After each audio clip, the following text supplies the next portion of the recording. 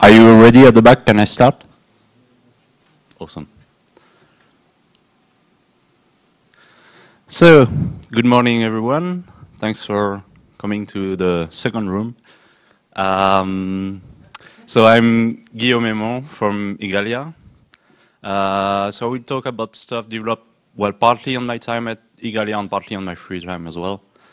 Uh, so I'm really thankful for Igalia to leave me working time to work on this as well.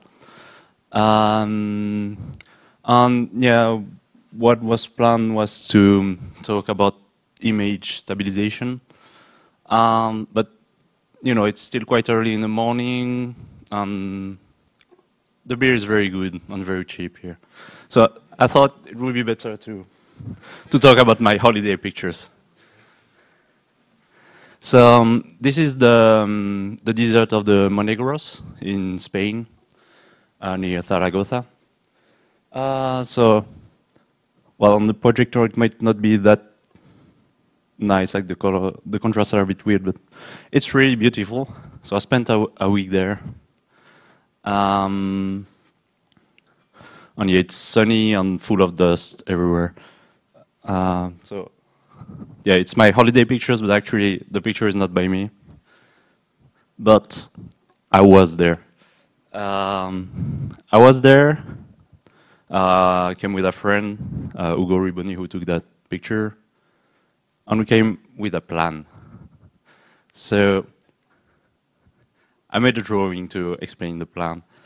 Uh, so the idea was to inflate a balloon with helium uh, attach a camera to it, attach it to a string, fly it rather high, around 100 meters high, and take pictures, take pictures from from above of uh, various things happening. There was some kind of hippie festival going on, um, and so I tried to do that. So proof in image so that's the balloon. So it was rather big because we wanted to carry a camera and all and to be sure that it stayed more or less still, even with some wind. Um, and so that's what the balloon sees in the kind of configuration of the previous picture. So not that interesting. But um, luckily, the balloon was you know, a bit like a junkie. He always wanted to get high. So, oh, higher? Okay. You, oh, you, you can see like here, like it's small, like in white, that's me. Here you can't really see me anymore. And yeah, that's the maximum altitude we reach. So, yeah, the kind of my holiday pictures the kind of pictures we took was quite nice. Uh, so yeah, we wanted to. So that festival was lasting for a week. We wanted to take pictures for the whole week uh, to like cover the whole event. The balloon only agreed to four and a half. Uh, then after, basically after the first station, it popped. So we had to like bury it. It was really sad. So we had anyway still like four hours and a half of pictures. Uh, the camera was set to take a picture every minute. So we had some nice pictures. No, know what what to do with them. So we thought of doing a time lapse. And there should be a video showing here. Okay, never mind.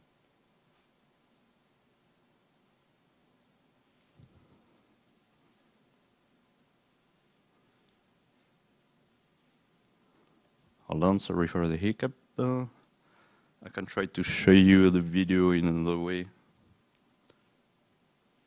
Or to see what's happening.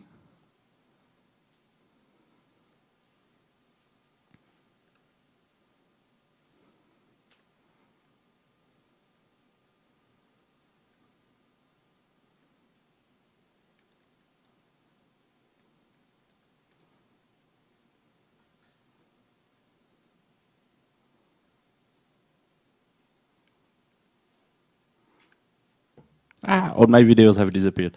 Um, I'm sure I can figure that out. That wasn't expected.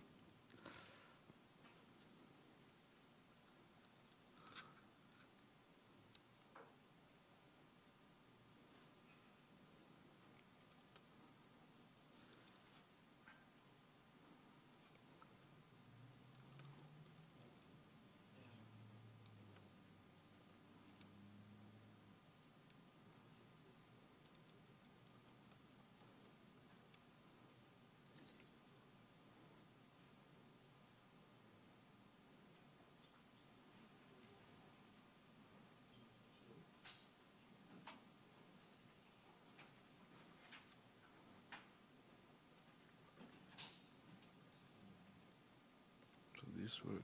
Why doesn't this work?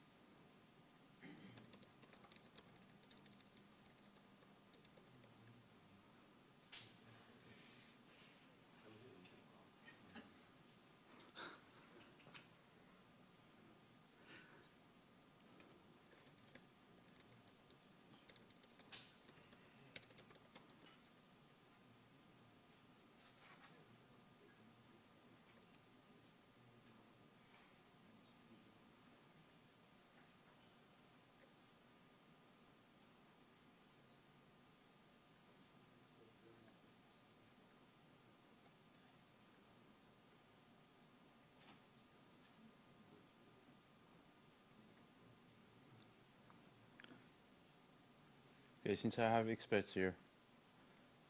Anyone knows what to do when you have that kind of error?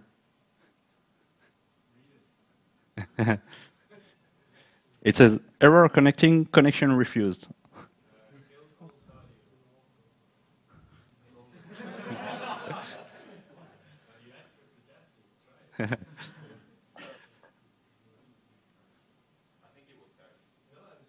Uh, actually, the video doesn't contain any audio stream.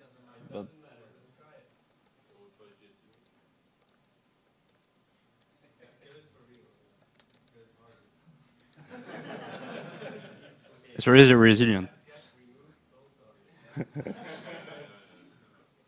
Doesn't seem to do it. Not the wrong culprit.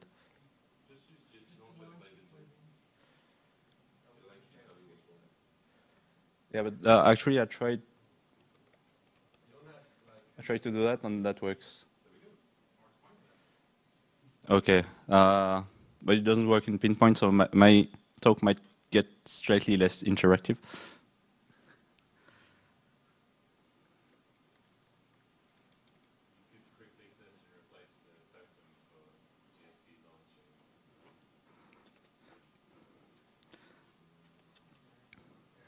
Yeah, my plan wasn't to use totem but pinpoint. But uh, okay, will.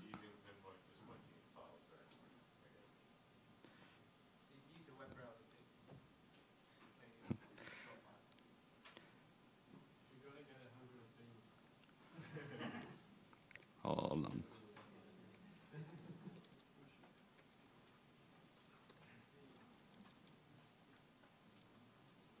I suspect this might be related to plugging an external screen on VGA or something. I don't know. It worked before.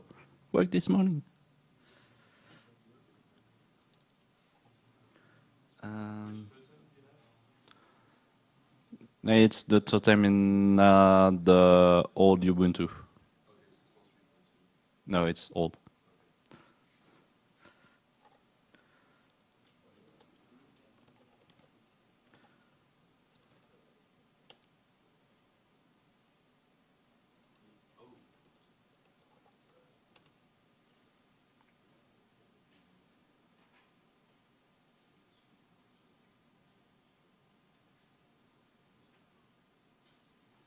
Ooh, actually I might have a dbus problem.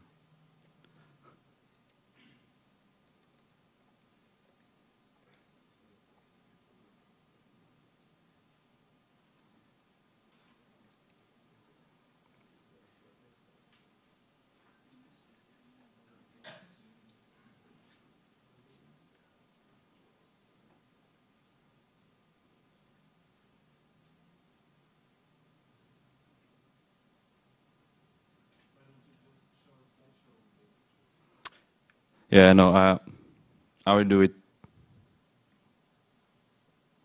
in. Uh,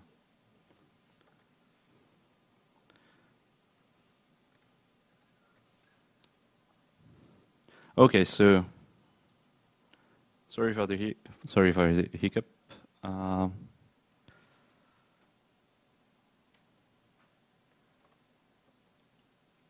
I will get to that video.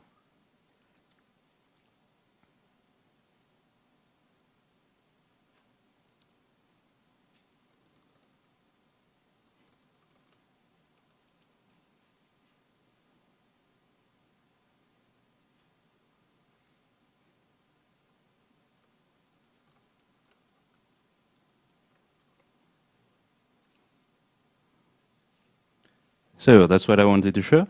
Uh, so we want to do a time lapse with with uh, this. So that's an example of a time lapse for those of you who don't know what it is. It's like basically a video where you play the frames faster than uh, the rate at which you took them. So in this example, I think it was like one frame every five minutes, and uh, and we play them at 10 frames per second. So it's accelerated video, basically.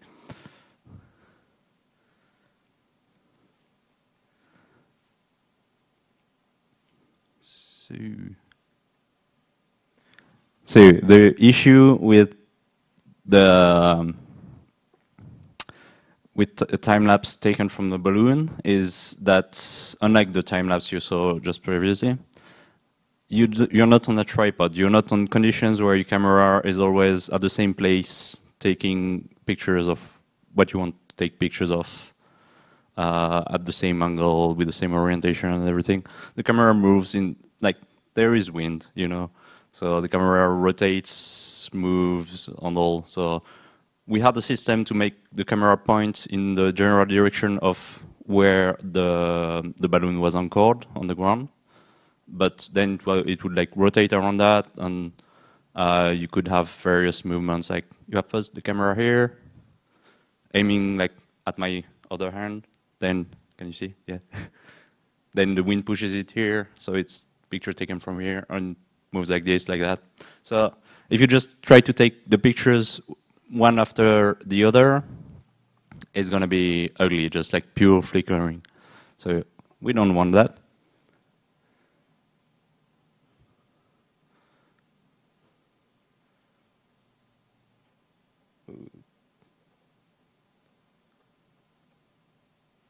So we want to do stabilization in post-processing. Um, yeah, I forgot to say, we don't have a tripod, but we have OpenCV. So, so we want, what I try to do is to use OpenCV to do stabilization in post-processing. So there are two basic steps in that. First, understand the movement, detect that movement, what we call in scientific terms, optical flow.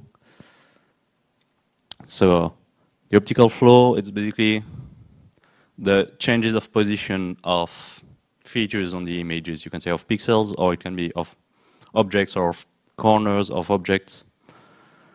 So yeah, an example here showing like explaining the optical flow of a precise feature, which would be the right hand of that stick figure. Uh, so at the beginning it's at like uh, 60, 80, then it moves to the position 80 110. So when you're programming things with OpenCV, that's the kind of results that you get. You get like, well, what you try to get is a list of positions on one frame, and then a corresponding list of positions on the next frame, and uh, like each. So the list corresponds to each item on the first list. The item at the same index on the second list is where the what was at the first position on the first frame is on the second frame. Is that clear?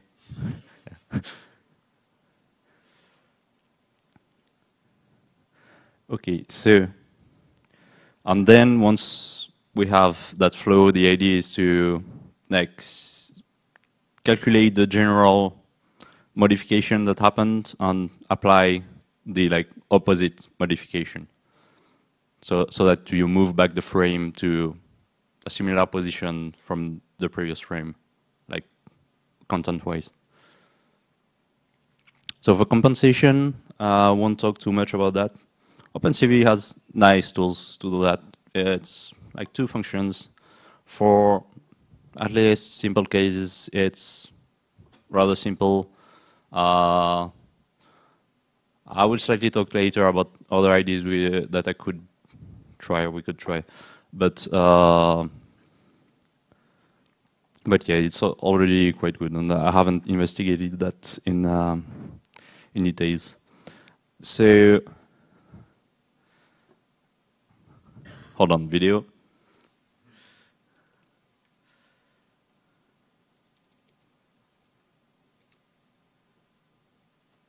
So this is Joe the hippo. Uh, that's like other holiday pictures, moving pictures this time.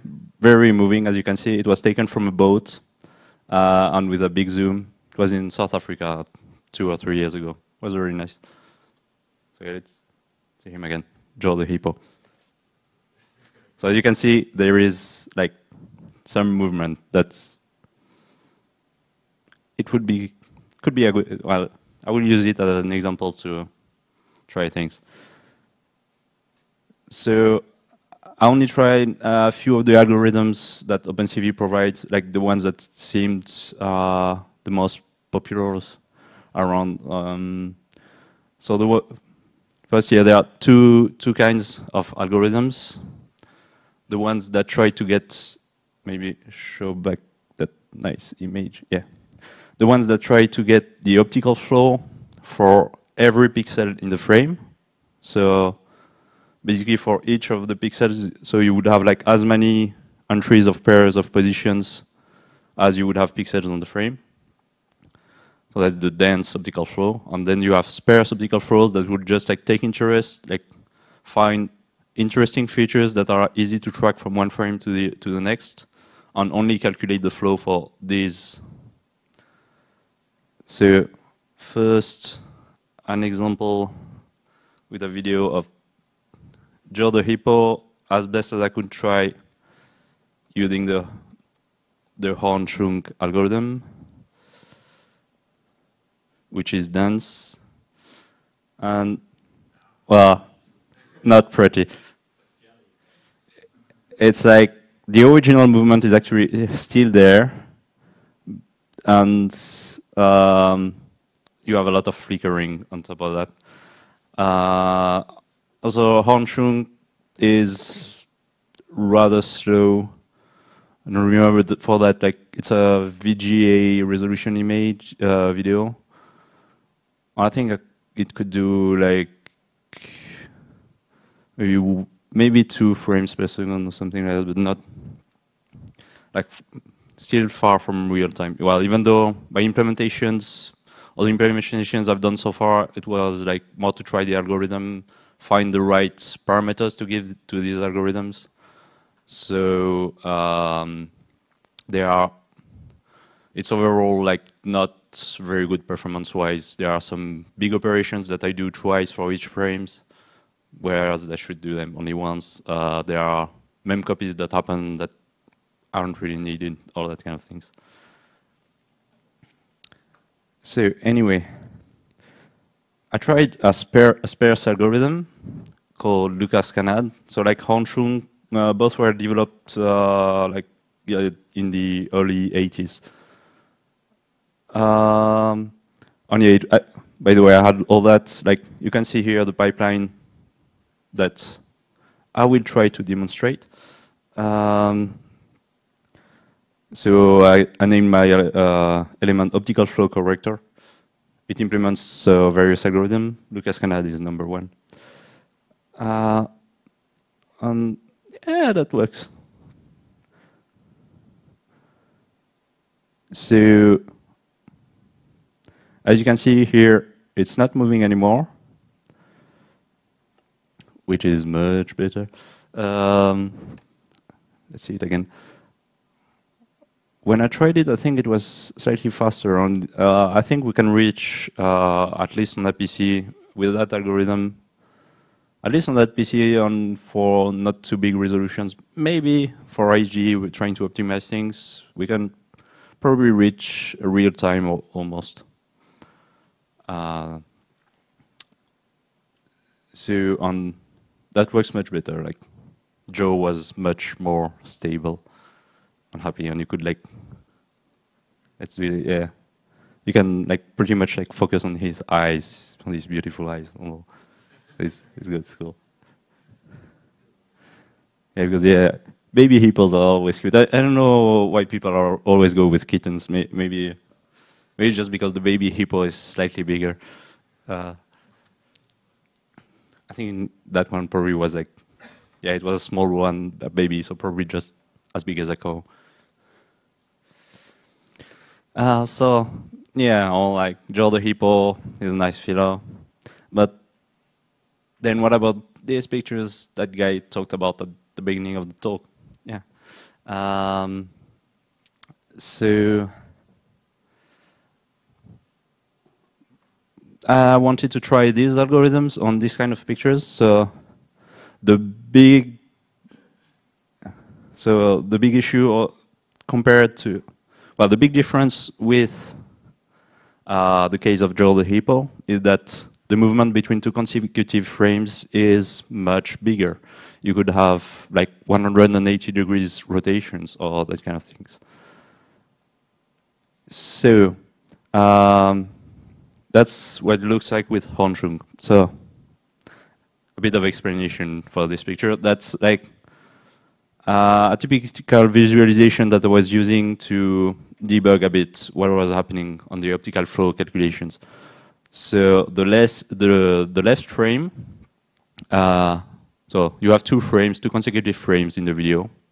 The first one on the left, the next one on the right. Uh, on all the lines, you can see that are more or less horizontal. All the colorful lines represent one pair of points. That is like the position of a feature on the first frame and the position of the feature on the second frame.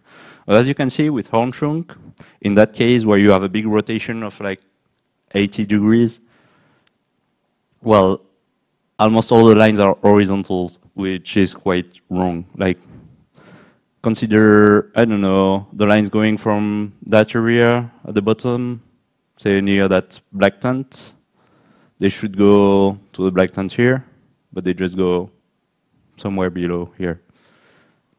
So that's because Horn-Schunck makes the assumption that the movement won't be big between two frames.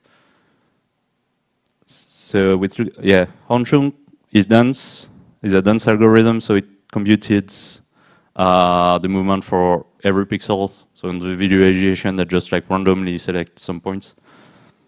Lucas-Kanade only computed the movement for some points that it chose. And um, well, so you have much less, much fewer lines. They kind of look like they could be better, but if you look in detail, like well, that one is obvious that it's wrong, like going from that kind of forest on the left, that moved to the top, to the top left, but it goes to the bottom left.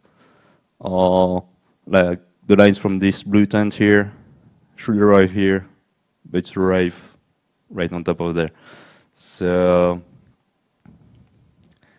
yeah, not that good. It makes the same kind of assumption. So for a case of a time lapse for a balloon, doesn't work very well. So the solution, surf, speeded up robust feature. Um, so it's basically an algorithm um, that there, there, are other algorithms of this kind, others that I will try as well, but that I haven't so far. And Surf uh, works slightly differently. It's not necessarily meant for motion flow, but can be very useful for that. What it does is um, finds interesting features at various coordinates and give you like the coordinates of a feature and a descriptor for that feature. And that descriptor is invariant with rotation or zoom or a lot of transformations that often happens. So it can be very useful, uh, like OpenCV use it in their example called find obj, so like to find an object. So you give you can give to the algorithm a small object, it will give you a list of features and descriptors for them. Then in a in another image, you can try to find that object with this by making it find features and descriptors. And then all you have to do, so in our case, for both frames, I would ask Surf, give me features and descriptors for these features. Then I compare the descriptors that I have on the two frames. If two descriptors look a lot like each other, it's likely to be the same feature that is described. So that is likely to be the same point in the image, like the same feature. And you can see here it works quite well. Like all the points that it identified over here, and it managed to recognize them over there. Um, Oh, sorry, I have big hands.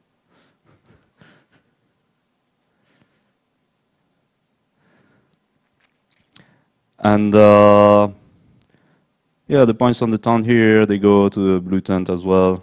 And all, yeah, all these points seem to match pretty well. And yeah, woohoo! Uh, that side is supposed to show you a video of the time lapse working. So. Uh, I will do it manually.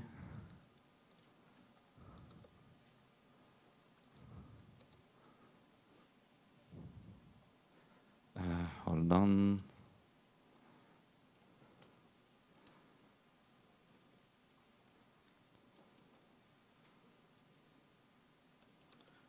Ah, I found how I called the video. so, ah, no. Yeah. So that's what it looks like. So you can see even though the original frames had, well, I didn't show you all the frames, but yeah, it would be a bit boring. But I saw you too, and they can be like big rotations and that kind of things. Uh, you can see these rotations through, uh, let's see it again, through the, um, through the, that uh, orange uh, rope that was going down. So you can see that it changes position a, lot, but the rest doesn't. Even though on the original frames, the orange rope was more or less at the same position and everything else moved. So yeah, woohoo.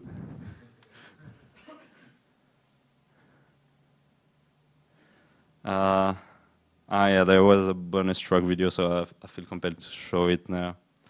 He's asking for it. Uh,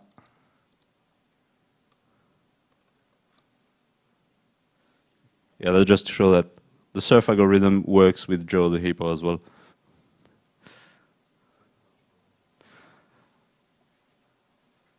Only, well, this time it's this is pre-computed, so it's not. I'm not trying to do to do it live. Like uh, with Surf, it Surf is much slower than Lucas-Kanade. Uh, I think that the best you could do would probably be around maybe five frames per second at VGA on my computer, or that order of magnitude.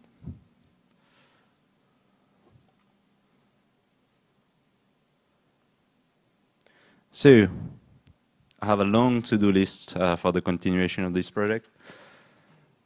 Uh, so first there's uh, David Jordan, Google Summer of Code student of Edward, if I'm right, yeah, who, who did a lot of things uh, with optical flow as well. His application is um, to do slow motion videos. So he computes the optical flow between two frames, uh, and then uh, with that, he can he uses that information to compute the intermediate frame and like to create one more frame between the frames so that he can play in slow motion uh, a video that was just shot at a normal frame rate. And uh, so yeah, he has he has a fork of uh, GST plugins bad somewhere, and he has an element that finds the optical flow and does that kind of thing. And ideally, yeah, I could well, I should try to work with him and to like kind of unify and have at least a common interface for things that find op an optical flow. So for the compensation, uh, as you could see on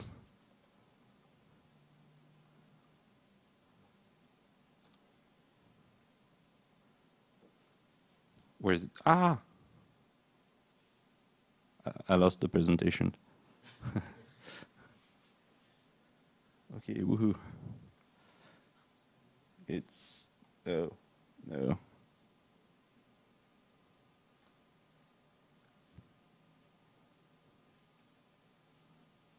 Where's my video gone?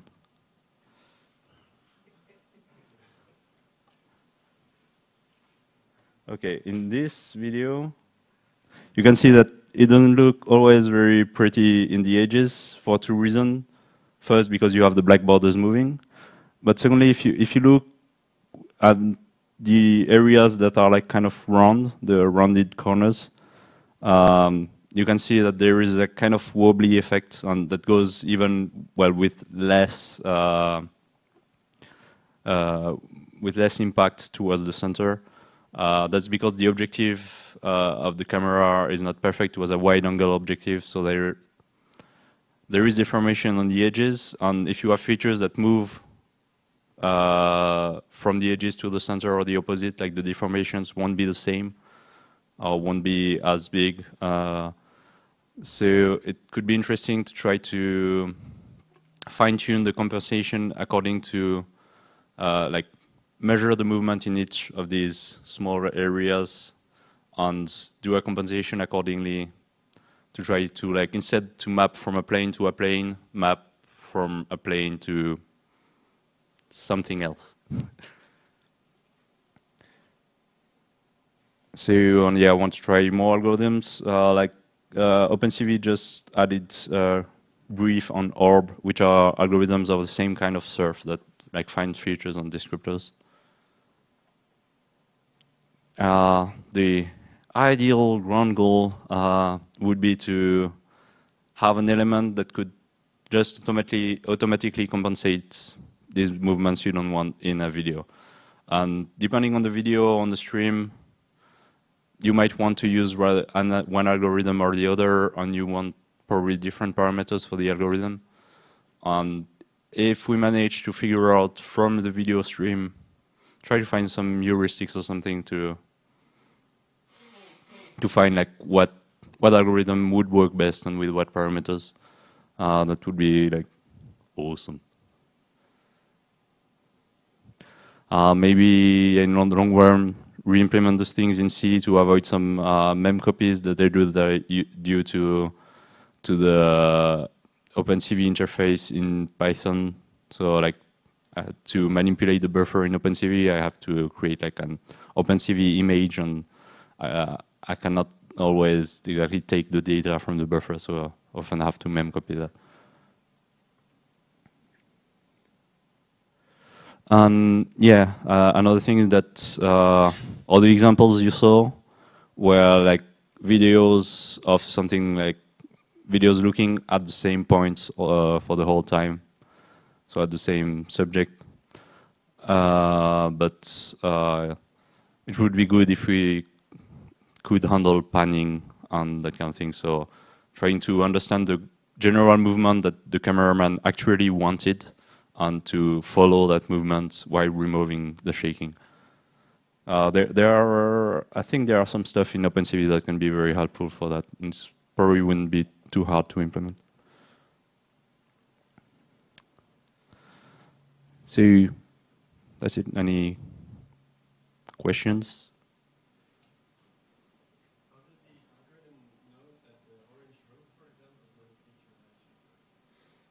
Okay, so the question is, how does the algorithm, uh, I guess he was talking about surf because it was the only one that wasn't working. So how does the algorithm knows that uh, the rope uh, was not part of the like active thing that that you want? Well, actually, in OpenCV, you can.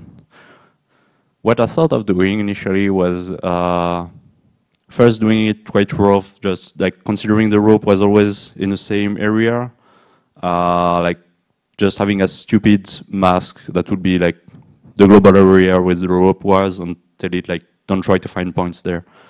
Um, but uh, and then to to make it more evaluate, we could do like contour detection, like detect the shape of the rope or something, or even use surf to detect the points of the rope to see, to know where the rope is and remove it. Um, but it turns out that I didn't need that. Uh, magically, the algorithm didn't consider the rope. I think that it's because it's slightly out of focus and the points get less interesting, but I'm not totally certain of that.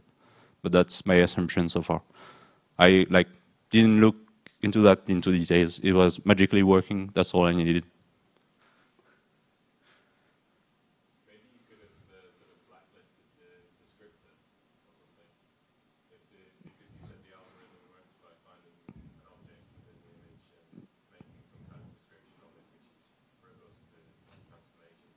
Yeah, uh, the suggestion was, sorry. I'm just trying to repeat what you're saying be, before I forget everything. So the suggestion was to use, uh, I guess, surf to like get the descriptors of the rope and like find them with that to know what to eliminate. Um, yeah, it's a good idea. But yeah, as I said, the in that case it wasn't needed. But uh, in a case where you would have had the rope in focus or an annoying object, yeah, that could be a good idea.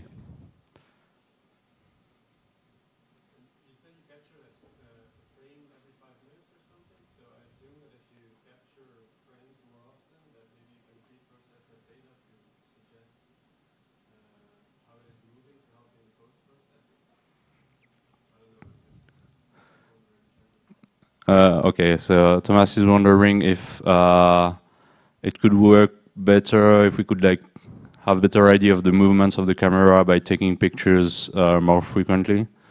Um, well, to the, I'd say if you take them frequently enough, like basically take a video at 25 frames per, per second or something like that. Uh, yes, definitely, like, and you could use Horn-Schunck or something like that. Um, or yeah, it could be an idea if you want to like then accelerate that video, but not have to stabilize the whole video stream to yeah, like use that movement information, like just calculate the movement information that we got from that. Uh, even though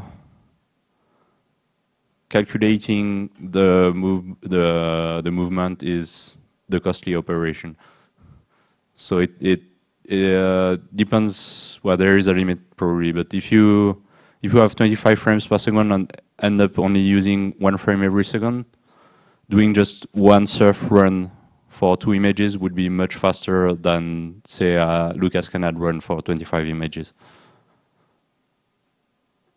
Yes?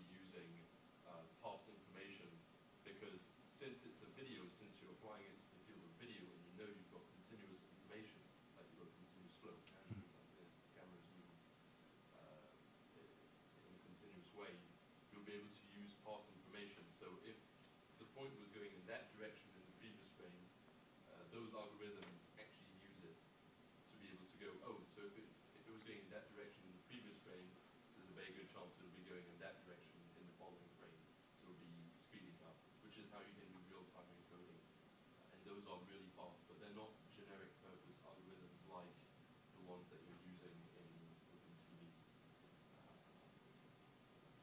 It's, it's like uh, assuming, you said some of the algorithms assume you only have a small amount of motion.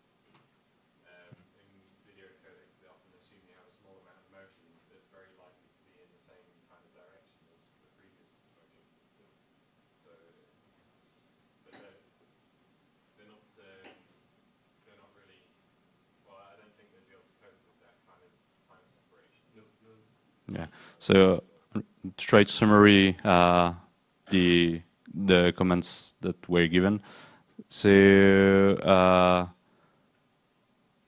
what was noted by, um, by Edward is uh, that you have um, algorithm used in video uh, in video coding uh, that are that detect motion as well, but they are like specialized for this, right? Uh, and they and they are not general purpose, probably couldn't be used for that. Uh, even though I'm wondering, do you think they could be used um for for video for like motion compensation in a video stream that is continuous? So some people actually, uh, I think it was three or four years ago, uh, one of the MLT developers uh, did a motion motion smoothing, motion slowing down uh, plugin using that exact algorithm. So EPZS, uh, Enhanced Predictive Zone Search, which is the one used in most, most common one used in video encoders. Uh, the results are not that. They kind of work sometimes. Okay. So people try to do that using uh, EPZS, what's it called, the like commonly used algorithm in video compression, and um, and it was kind of almost working sometimes. Is that it? Yeah. I mean, the the target of the algorithm is completely different. It's not to do generic, you know, item searches and how is the image completely moving and what, what you're trying to do. It's not done for that. It's Yeah. just done to be able to go, oh, this Mac block is moving like this. And then we use it. to predict the uh, area where the moves go, it can be encoded better. Right. But it works in terms of macroblocks and not as general picture and understanding the complete scene, uh, which is more what those algorithms are. But there are some global motion compensation things, uh, which use multiple points within, um, well, in, in video, images are broken down into blocks, and you can use different points within the block to track rotations and um, zoom and stuff like that. So you can map all the different transformations that it can make using those kind of algorithms. And I was wondering myself whether any of those would be, or, or something based on those would be useful in this kind of thing. So the question is whether this kind of algorithm, if I understood the question correctly, is whether these uh, algorithms that generally work on blocks, right, and not like just on features or on pixels, uh, whether these could be useful, knowing that some can track rotations as well and can track a lot of things. Um, so my answer is I don't know. Uh, from what Edward just say, I guess that it can maybe kind of work. I guess probably some more research, some more tries can be done with that. But yeah, because I guess these are already have like very fast implementations, including implementations in hardware. So if you could extract information from what they do, that yeah could be very interesting. Yes. Try checking up uh, corrections, like first use a SURF to correct the, the rotation and then use another one to compensate the movement? Yeah, so uh, the question is if I have tried to chain different corrections, like first doing one correction with SURF, for instance, and then using another algorithm to refine the compensations. Uh, I think that I tried that at some point, but uh, it didn't really improve the results. Because what I get from Surf there is probably the best I could get. Um, no, the things that could improve the the the final video stream would be uh, first to so either like find a way to flatten these videos because they are taken with a wide angle objective, so there are videos that are images that are kind of round. So well, first they are round on, in the projection, but they so they represent objects that are like more at the edge. So there there are some algorithms and something to like flatten images to do as if you had the perfect objective. And if you had these kind of images, uh, so we would have much uh, less weird movements of magical movements of objects between frames. And also we could, uh, I think the other big improvement on that uh, would be to um, to like basically display uh, once you have that, so a precise image, you could display uh, your new frame on top of the previous one, so that you don't have black areas, but instead you see the content of the previous frame, which would quite match what was previously, and that probably would look much smoother. Yeah. Probably it would work for the hip, but in your case, since it's pretty static image, maybe you could just put like uh, at four points in a square, uh, like the one by one colored square. That would be like the orientation point. You know that has to be in the image, and you can use that to search in the image. You can calculate the deformation. So you mean put markers on what you're taking pictures of? Yeah. Uh, yeah. So his suggestion is to uh, find some hippies uh, who don't move and pa- paint them recogniza- recognizable. Oh yeah, or a tent. Yeah. Uh, so put some markers in in like four markers uh, that are like around the place and like recognize these markers easily because they have a recognizable color or something or recognizable shapes and use that to calculate the transformation. And uh, yes, that would, definitely be doable and that I think could allow to do that uh, rather easily in real time. Because in the end with surf, what you end up is having markers but much more complicated markers. And that are like take much more time to find. But with um, yeah if you if you had markers with specific colors you could just like look for these colors and yeah be very fast. That's actually what i thought of doing initially but uh, then i got lazy about building things and all you know we were already like very busy with the balloon so i said ah i fix it in software it's easy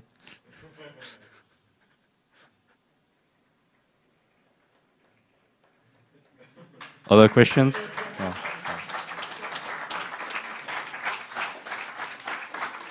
I guess it means we're nearing the end. So thank you. You can find uh, the code of the first URI, uh, the history of the balloon, the balloon project at large on the second URI. That's then my blog, my email, the the website of Igalia. And well, hope to see you all around the drink, maybe a beer.